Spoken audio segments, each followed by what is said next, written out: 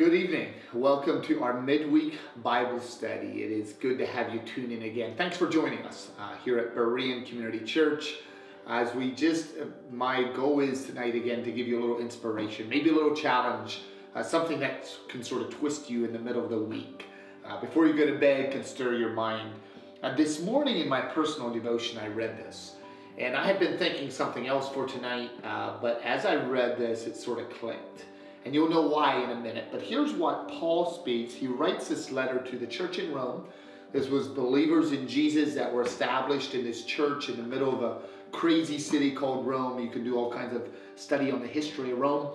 A lot of craziness, a lot of evil, a lot of uh, upheaval, maybe similar to some of the crazy things we walk through today. A different culture, different society, but still some of the same crazy emotions. And here's what Paul says. He says, Therefore, I urge you, brothers, in view of God's mercy. So hold that thought. In view of God's mercy, to offer your bodies as living sacrifices, and you're supposed to offer them holy and pleasing to God. He says this is your spiritual act of worship. Now, worship means as in bringing glory to God. So, this is how we act out bringing glory to God, right? Then he says, How do we do this? We do this by not conforming to the pattern of the world but being transformed by the renewing of your mind. I love this verse.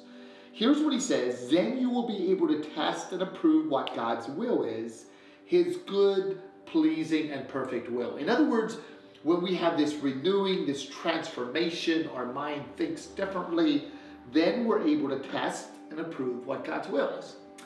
Now, I don't know what you've been doing so far this week.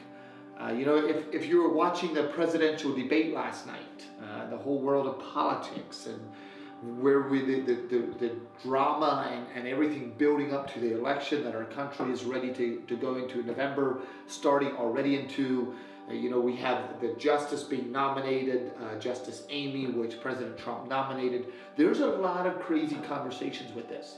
So maybe when you think of the idea of testing and, and proving and thinking differently, that could be through that debate, maybe maybe you think differently or you uh, try to test more on a different level than what someone would just by emotions.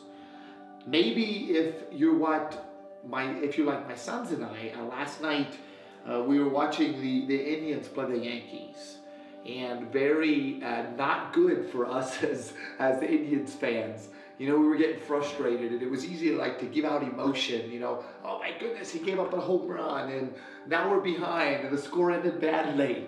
Uh, now that's a pretty shallow thing in right in life, right? Compared to maybe the elections or the other drama we're walking through. But in all of this, uh, Paul encourages us. He says, listen, if you want to be able to walk through and sort of test and prove and, and know what God wants you to be like, and how God wants you to act, first of all, he says, realize that the way you bring worship for God is, he says, living as a sacrifice. What does that mean? Well, it doesn't just mean being smarter than everybody else, which I would argue none of us are. Um, it doesn't just mean knowing God's will all the time and having exact wisdom. But this idea of sacrifice means living for other people, living for God, not living for yourself. So he says, in view of God's mercy, and, and I hope you've been part of this journey we've been taking through sermon series called The Dragon Slayer. You know, I've been talking last Sunday, I talked about the road to the cross. This is Jesus Christ as a powerful dragon slayer. He took that road to the cross. This was incredible mercy that God had in his whole perspective of time. And I don't want to get into the sermon right now, or this, this will go on forever, not forever, but a while. Uh, so, but thinking of that, that, that was God's mercy to mankind to bring Jesus as the all power dragon slayer uh, into redeeming us. So, in, in view of this, Paul says, I, I want you to think of who God is and what Jesus Christ is. And in view of that, I want you to be a sacrifice for others, for God into a world. It makes me think of what Jesus says when he says, You're the salt of the earth. You know, you're, you're the ones that should make a difference. So Paul says, in view of all of that, in view of now you're being a sacrifice, now you should be transformed. Your mind should be different.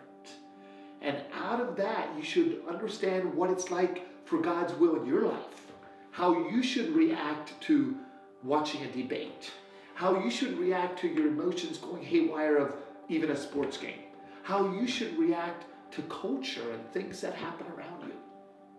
So, my encouragement uh, this morning, that's where my mind went as I was reading this. My encouragement to myself and to you, and maybe even challenge, is when we look at the big picture of God, and as we're walking through this sermon series, The Dragon Slayer, we understand at least a little bit of God's perspective of it all. When we view that, what impact is it leaving for you and I today, tonight, before you to go to bed? The decisions you make for tomorrow, how you look at life, how you look at the drama of our elections coming up, how you look at the presidential debates and, and, and voting for a president, you know, how you and I vote.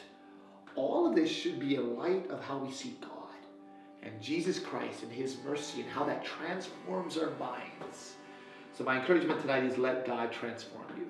When you fall at the cross of Jesus and you see who He is, what He is, this should do something to our minds and make us different.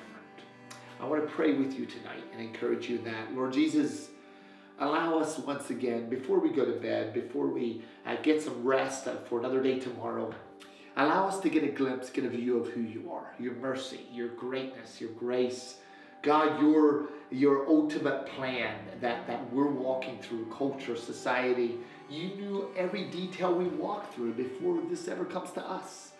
So, God, when we understand your heart and your passion, allow it to change us. Help us to look at life differently. Help us to look at the things we walk through, the emotional experiences, the, drama of our current election and our politics and our culture and COVID 19 and how all of that relates to it. God, help us to view that differently because our minds are transformed by you. Would you touch each one that tuned in tonight, Jesus? Give us a good rest of the week. Zone us in for what your passion is. We want to worship you because you're worthy, Jesus. I pray in Jesus' name. I hope you have a good night tonight. Thanks for tuning in. Don't forget to join us on Sunday, either online or live here at Berean Community Church. Uh, we're going to continue on this journey, this sermon series, The Dragon Slayer, and I would love to have you join us.